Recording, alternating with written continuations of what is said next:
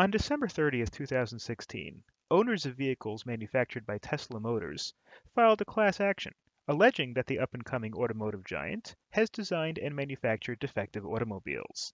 The plaintiffs claim that Tesla Model S and Model X vehicles fail to perform as safely as a reasonable consumer would have the right to expect for two reasons.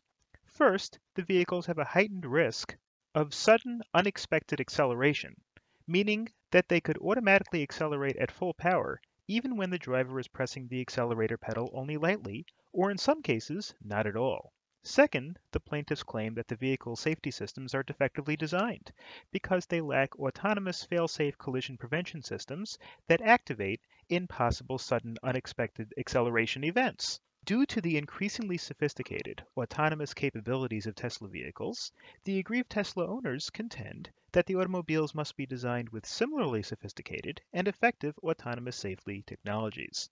Model S and Model X vehicles are equipped with cutting-edge technologies that allow them to detect and respond to objects in their environment. These Tesla vehicles can control their own steering, speed, braking, lane changing, and parking. Tesla plans to continue developing and distributing the company's self-driving technologies and intends for its vehicles to be capable of fully autonomous cross-country travel in just two years. Because a reasonable consumer would expect vehicle safety systems to keep up with the progress of self-driving technologies, autonomous capable vehicles designed without sophisticated collision prevention technologies are unreasonably dangerous. Tesla responded to the allegations in the class action by arguing that it has no legal duty to design and install fail-safe technologies that the plaintiffs demand. The company alleges that each incident of sudden unexpected acceleration was caused by the human driver, and that requiring an automobile manufacturer to develop safety technology that would prevent collision due to human error would be unprecedented and unreasonable. The common law binds courts to rule in a manner that is consistent with prior precedent. But the pace of technological change impacts society in such a substantial manner that courts sometimes have no choice but to expand on established legal doctrines. Technological advances can change consumer expectations drastically. The way that changing technology shapes our expectations is particularly relevant to product liability claims because reasonable consumer expectations are a component of the legal standard for these types of cases. In the United States, product liability laws have allowed aggrieved consumers to recover damages from designers and manufacturers of defective products since 1916. Since that time, three distinct theories of product liability have emerged negligence, strict liability, and breach of warranty. Plaintiffs in all product liability cases must prove as a preliminary matter that the product involved in the case is defective in its design, manufacture, or marketing. Product design is defective when the item is unreasonably dangerous, even when manufactured properly, due to its improper design, such as an electric saw engineered without a blade cover. The item may be functional, but its design makes it unreasonably dangerous. Manufacture defect occurs when an item is constructed improperly, and as a result, functions in an unreasonably dangerous fashion. Returning to the example of the electric saw, a manufacture defect might be present if the tool was designed with a blade cover, but the cover was attached improperly during assembly and tended to fly off at high speeds during use. Defects in marketing occur when the producer fails to warn consumers about latent or hidden dangers associated with the use of the product, such as the risk of bodily injury associated with using power tools. After establishing defect, product liability plaintiffs must show that the defendant either acted negligently, breached a warranty, or should be subject to strict liability. A defendant can be liable for negligence when five criteria are met. 1. The defendant has a legal duty of care to the plaintiff. 2. The defendant acts without reasonable care. 3. This action actually causes physical harm. 4. The harm was foreseeable. And 5. The plaintiff suffers actual damages as a result. Plaintiffs bringing product liability claims based upon negligence will only prevail if they are able to prove all five criteria. If they are unable to produce sufficient evidence for even one element, the suit will fail. Most jurisdictions have adopted a strict liability approach to product liability to avoid the potential unfairness and unnecessary complexity of a negligence claim. Under strict liability, A defendant is liable for damages if the plaintiff can demonstrate that he or she was injured because of a product defect. Unlike negligence claims, in which a plaintiff must show that the defendant owed him a duty of care specifically, a plaintiff in a strict product liability case can prevail by proving only that the product was defective, that this defect caused the plaintiff's injury, and that the injury gave rise to damages.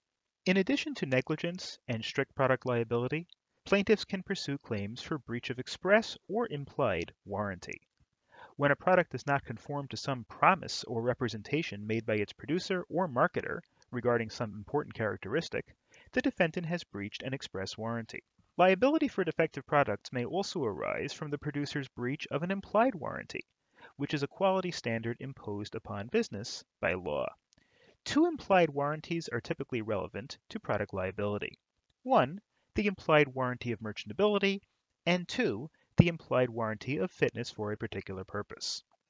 The implied warranty of merchantability guarantees that a product is fit for the ordinary purpose for which it is typically used. By comparison, the implied warranty of fitness for a particular purpose arises when a seller of a product knows or has reason to know the particular purposes for which a customer intends to use it, and the customer relies on the seller's expertise in determining whether its intended use is suitable. For example, if a customer asked a trusted fabric store owner for fireproof curtains, the store owner selects a fabric for the customer based on this request.